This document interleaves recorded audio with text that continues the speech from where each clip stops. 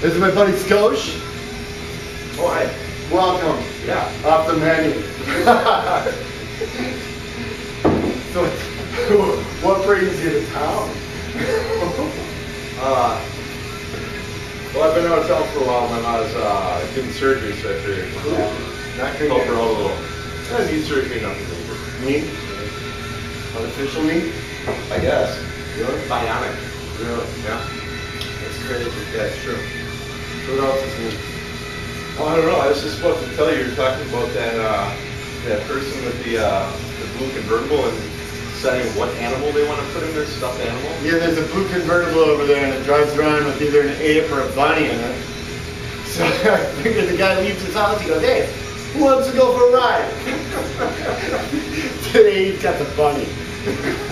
Well, it, it reminded me, I was watching uh, Hoarders the other day, and there was this woman who hoarded um, plush animals.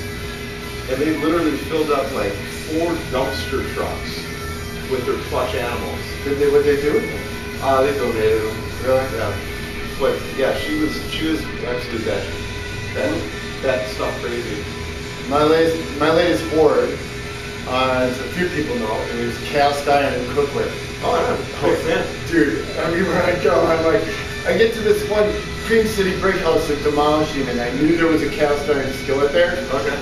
So I got there before the rummage sale started, and out comes this tall, lanky guy with a cast iron skillet. And it was you. No, it have been. I was like, dude.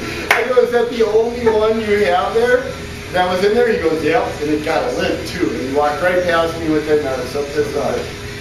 But But uh, you could find me a cast iron meatloaf pan. oh look, Yeah. I need to find two because I lot of people want to cut on.